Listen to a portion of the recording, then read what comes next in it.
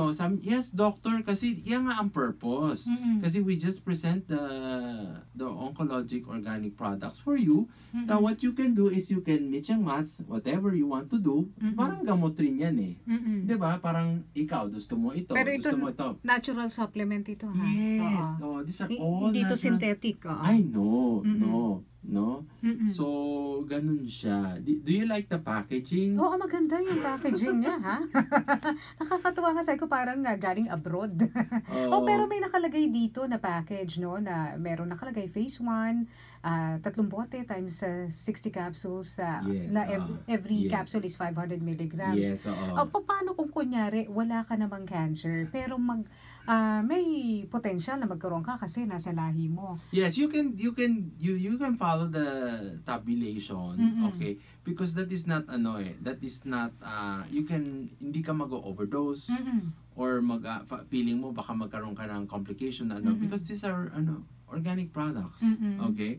The thing is like ano uh, it has its own ano uh, peculiarity when it comes to when you take it intake, 'di ba?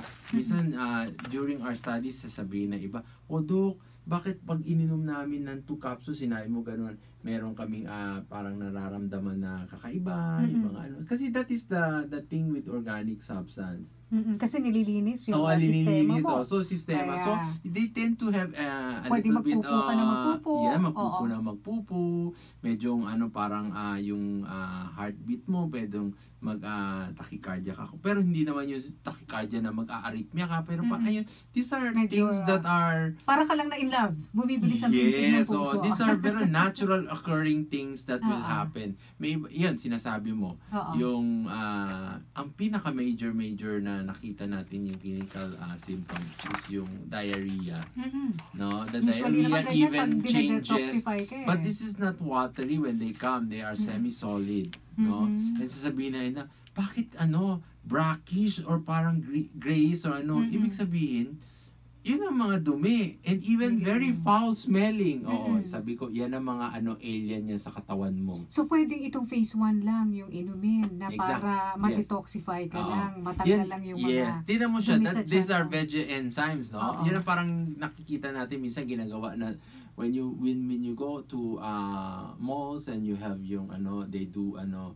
um yung mga they squeeze in yung mga fruits, yung mga enzymes ng ano, yung mga sinishake, yung mga ganun. So, mm-mm. ganun yun. Pero this one are taken from uh, very, very uh, substantial uh, vegetables. Mm-mm. Tapos yung phase 2 kasi, ito naman nagbibigay sa iyo ng dagdag na nutrisyon. Mm-mm. Oo, lalo na kung kunyari, ah, mga matatanda Oo. na kinukulang na nutri- nutrition. So, pwedeng ito lang ang ah, kukunin nila yung phase 2 oo. lang. Yes, Oo. tama. Oo. Kung wala naman, kahit wala silang Yes, cancer. wala naman. So, pwede pala mag-stand alone ang bawat ah, ah, phase exactly. para sa kung ano man yung need ng isang pasyente. Yes, oo. Tama Pero ka dyan. kapag may cancer, syempre gusto nyo na makumpleto nila yung buong phase. Yes, oo. Mm-mm. Pwede, pwede ka talaga kaibigan.